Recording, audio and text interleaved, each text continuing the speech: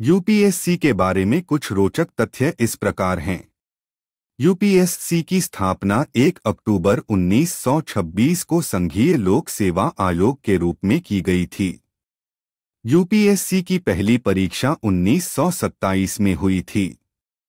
UPSC द्वारा आयोजित civil सेवा परीक्षा सीएसई को दुनिया की सबसे कठिन परीक्षाओं में से एक माना जाता है। जिसमें केवल लगभग शून्य डॉट एक, शून्य डॉट तीन परसेंट उम्मीदवार परीक्षा में उत्तीर्ण होते हैं।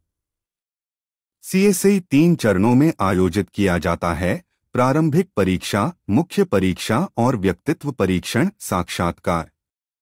यूपीएससी भारतीय वन सेवा परीक्षा, इंजीनियरिंग सेवा परीक्षा, संयुक्त रक्षा सेवा परीक्षा और राष्ट्रीय रक्षा अकादमी परीक्षा सहित कई अन्य परीक्षाएँ आयोजित करने के लिए जिम्मेदार है।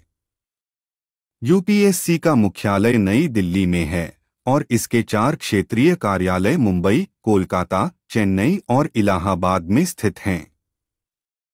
यूपीएससी के अध्यक्ष और आयोग के अन्य सदस्यों की नियुक्ति भारत के राष्ट्रपति द्वारा की जाती है। 2020 में रिकॉर्ड 10 लाख उम्मीदवारों ने यूपीएससी के लिए आवेदन किया था।